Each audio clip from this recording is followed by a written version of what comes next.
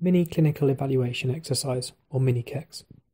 The JRC-PTB described MINI-CEX as evaluating a clinical encounter with a patient to provide feedback on skills essential for good clinical care, such as history taking, examination, and clinical reasoning.